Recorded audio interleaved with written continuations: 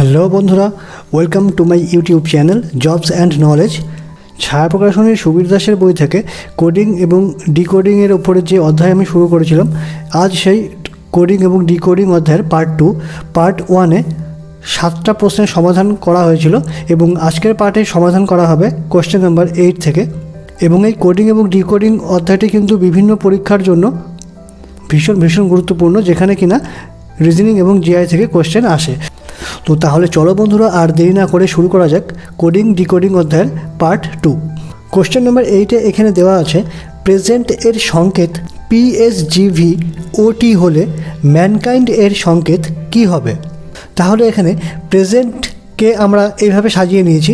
এবার এই জায়গাটা লক্ষ্য করলে দেখা যাবে, এখানে পি এর সাথে পি এর কিন্তু কোনো রকম পরিবর্তন হয়নি। প্রথম ক্ষেত্রে, দ্বিতীয় ক্ষেত্রে আর এর পরের লেটারটা বসেছে, অর্থাৎ আর এর পরে এস হয়, সেটাই বসেছে।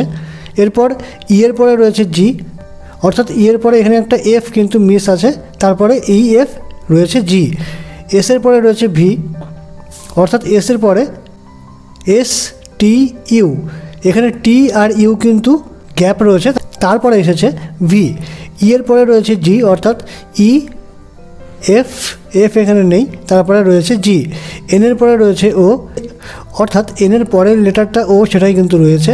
এরপরে রয়েছে টি টির জায়গায় টি কিন্তু সেম আছে। তাহলে এবার এখানে এই যে ম্যানকাইন্ড ওয়ার্ডটা রয়েছে, এটাকেও ঠিক এই ফর্ম্যাটে আমাদেরকে সাজাতে হবে। অর্থাৎ এখানে যেমন প্রথমে পি এর জায়গায় পি ছিল, কোনো পরিবর্তন হয়নি, তাহলে এখানে আমরা প্রথমে করব এম এর জায়গায় এমই থাকবে। এবার দেখব পরের লেটারটা কেমন ছিল। আর এর পরের লেটার হয় এস এখানে কিন্তু সেটাই বসেছিল। তাহলে এখানে এর পরের লেটার যেটা হয়, অর্থাৎ বি আমরা এখানে বসাবো। এবার তিন নম্বরে দেখো ই এর পরে এফ গ্যাপ দিয়ে জি ছিল, তাহলে এখানেও আমরা এন এর পরে ও বাদ দিয়ে পি বসাবো। তাহলে পি কিউ ই হয়ে গেল। এবার আমরা এসটা লক্ষ্য করব। এসের পরে এখানে দুটো গ্যাপ ছিল, তাহলে এখানে কে এর পরে আমরা দুটো গ্যাপ দেব। অর্থাৎ কে এর পরে এল এম তারপরে হবে এন এই এনটাকে আমরা এখানে নেব। তারপরে আছে কি? এখানে ইর পরে একটা গ্যাপ দিয়ে, অর্থাৎ এফ দিয়ে জি বসেছিল তাহলে এখানেও আয়ের পরে জে এখানে আমরা কে কে নেব। একটা গ্যাপ এখানে যাবে। তারপরে এনের পরে এখানে কি হয়েছিল? এখানে এনের পরে হয়েছিল ও অর্থাৎ এনের ঠিক পরের লেটার তাহলে এনের পরের লেটার আমরা এখানে নেব ও এবং টির জায়গায় কিন্তু টি সেম ছিল, অর্থাৎ ডি এর জায়গায় ডি সেম থাকবে। তাহলে এই নিয়ম ফলো করে আমরা এখানে যে লেটার সমষ্টি পেলাম, সেটা হচ্ছে এটা।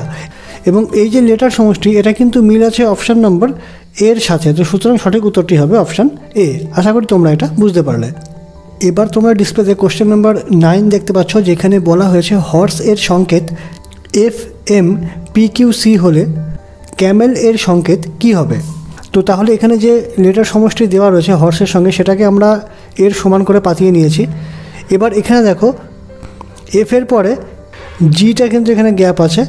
তারপরে রয়েছে এইচ এম এর পরে এনটা এখানে গ্যাপ রয়েছে, তারপরে আছে ও পির পরে কিউটা এখানে গ্যাপ রয়েছে, তারপরে রয়েছে আর এখানে কিউ এর পরে এখানে আর গ্যাপ রয়েছে, তারপরে রয়েছে এস সি এর পরে ডি এখানে নেই, তারপরে রয়েছে ই অর্থাৎ এখানে যে লেটারগুলো বসানো রয়েছে, তার ঠিক আগের আগের লেটারটা এখানে কিন্তু বসবে।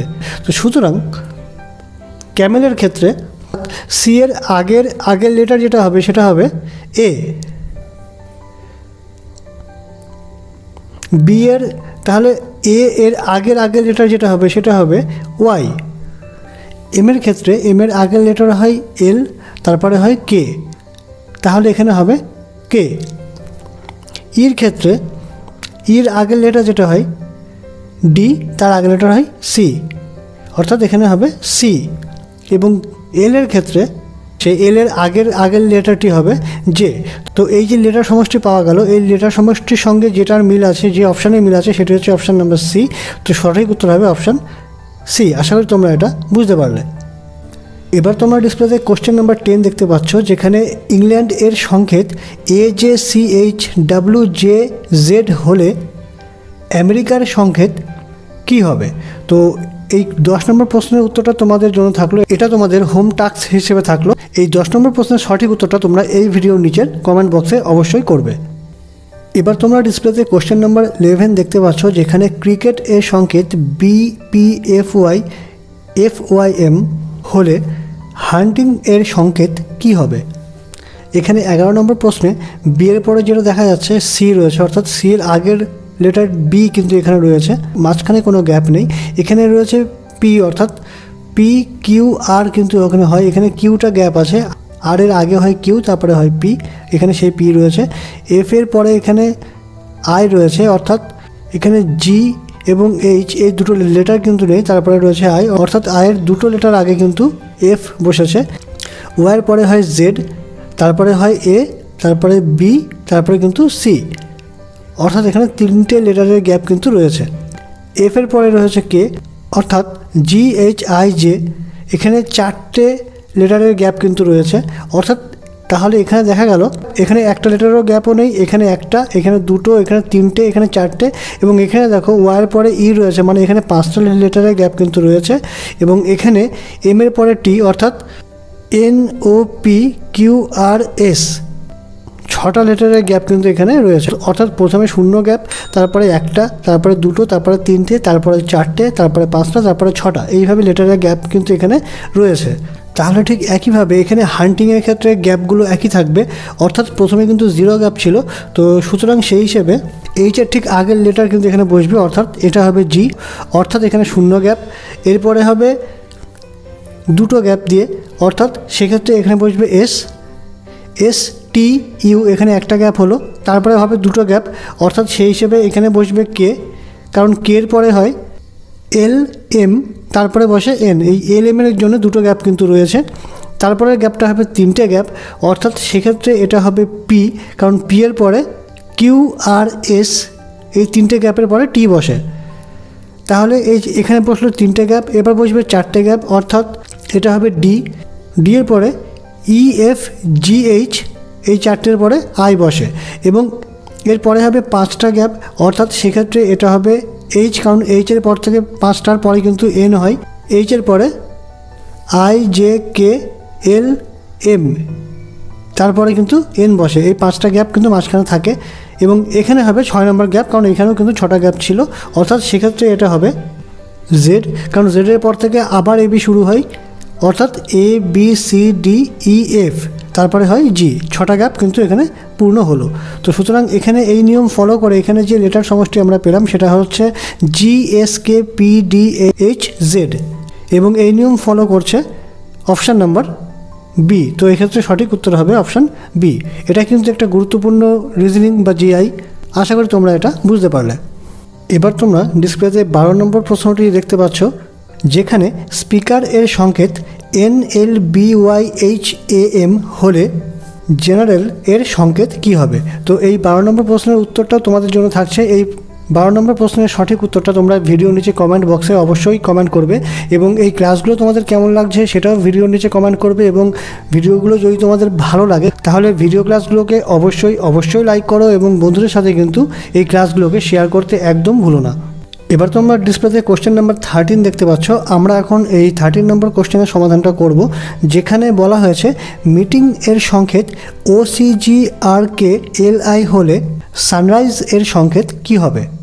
কোশ্চেন নাম্বার থার্টিনে দেখা যাচ্ছে এম এর পরে এখানে ও রয়েছে, অর্থাৎ এম এর পরে কিন্তু একটা গ্যাপ রয়েছে এন সেই এনটা এখানে নেই এন এর পরে রয়েছে ও এখানে আবার সির পরে রয়েছে ই অর্থাৎ ডি এখানে নেই ডির পরে রয়েছে ই। এখানে আবার রয়েছে ইর পরে জি অর্থাৎ ইর পরে এফ এখানে নেই। এফ এর পরে রয়েছে জি। এখানে আর এর পরে এস নেই, তারপরে রয়েছে টি। আই এর পরে জে নেই, তারপরে রয়েছে কে। এল এর পরে এম নেই, তারপরে রয়েছে এন। এবং জি এর পরে এইচ গ্যাপ দিয়ে আছে আই। অর্থাৎ একটা লেটারের পরের সংখ্যা বাদ দিয়ে পরের লেটার বসাতে হবে, আবার ঠিক পরেরটাই আগের লেটার বাদ দিয়ে ঠিক তার আগের লেটারটা বসাতে হবে। এইভাবেই কিন্তু বারবার চলবে। তাহলে এখানে এই যে সানরাইজ রয়েছে, এখানে প্রথমে যেটা হবে এসের পরে একটা লেটার গ্যাপ দিয়ে পরেরটা বসাতে হবে। অর্থাৎ এস টি ইউ টি এখানে বসবে না টির পরে থাকবে ইউ আবার ঠিক এখানে ইউ এর আগে যেটা হয়, ঠিক তার আগেরটা বসবে। অর্থাৎ এখানে হবে এস মাঝখানে হয় টি। ইউ এর আগে টি, তারপরে বসে এস।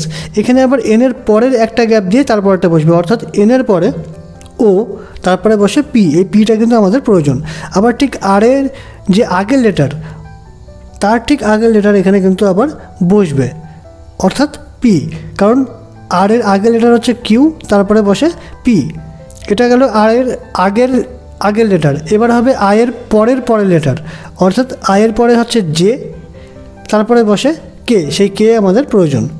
এরপর হবে এস এর আগের আগের লেটার অর্থাৎ কিউ এখানে হবে আর অর্থাৎ এস এর আগের লেটার হচ্ছে আর আর এর আগের হচ্ছে বসে কিউ আবার এখানে যেটা হবে ইর পরের পরের লেটার ইর পরে হচ্ছে এফ সেটা থাকবে বাদ এফ এর পরে হচ্ছে জি এই জিটা কিন্তু আমাদের প্রয়োজন। তাহলে এখানে যে লেটার সমষ্টি আমরা পেলাম, এই লেটার সমষ্টির সঙ্গে উত্তরের যে অপশানের মিল আছে, সেটা হচ্ছে অপশান নম্বর এ তো এক্ষেত্রে সঠিক উত্তর হবে অপশান এ আশা করি তোমরা এটা বুঝতে পারলে। তো তাহলে বুঝতে পারছ বন্ধুরা, ঠিক একইভাবে এখানে প্রথমটা সবসময় দেখতে হবে, প্রথমটা সবসময় ফলো করতে হবে, প্রথম নিয়ম ফলো করেই কিন্তু দ্বিতীয় যে অপশানটা থাকবে এখানে দেওয়া, সেই অপশানগুলোর সমাধান কিন্তু খুব সহজে বার করা যাবে।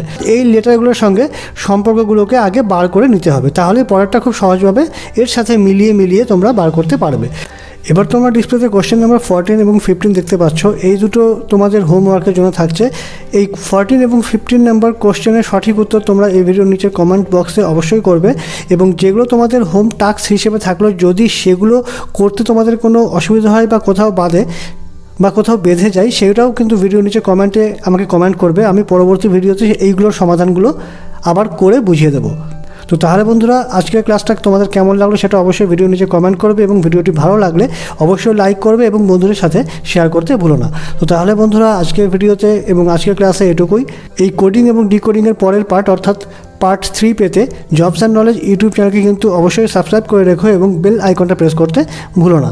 তো তাহলে বন্ধুরা, আজকের ভিডিওতে এটুকুই। ভিডিওটা সম্পূর্ণ দেখার জন্য অনেক অনেক ধন্যবাদ। ভালো থাকো, সুস্থ থাকো। জবস অ্যান্ড নলেজ ইউটিউব চ্যানেলের সঙ্গে থাকো।